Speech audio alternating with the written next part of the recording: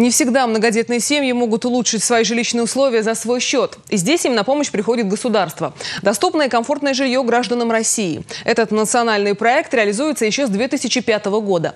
На новоселье семьи Ивановых из Ядринского района побывала наша съемочная группа. Кухня, кабинет, душевая, общий холл, а также три спальни и гостиная. Все это теперь в распоряжении семьи Ивановых. Конечно, хорошо, когда программа как многодетным дает дом.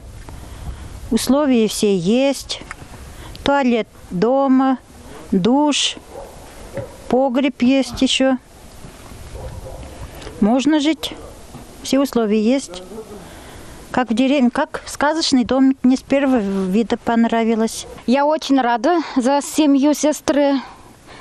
Я очень обрадовалась, что они такой дом получили.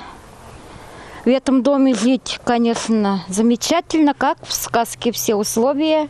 Новое жилье стало больше на 20 квадратных метров. Теперь в распоряжении семьи большой двухэтажный деревянный дом. Особенно рады новоселью дети. Что касается денежных средств на его приобретение, то они были выделены из республиканского бюджета. В этом году, согласно программы, семья Ивановых из Ювановского поселения – получил дом на солидную сумму, сумму почти полтора миллиона. Более 77 квадратных метров, 5 детишек у них. Всего же в Ядринском районе 14 семей, где воспитывается более пяти детей. И все они в будущем могут улучшить свои жилищные условия. Юлия Важенина, Татьяна Раевская, Сергей Рябчиков. Республика.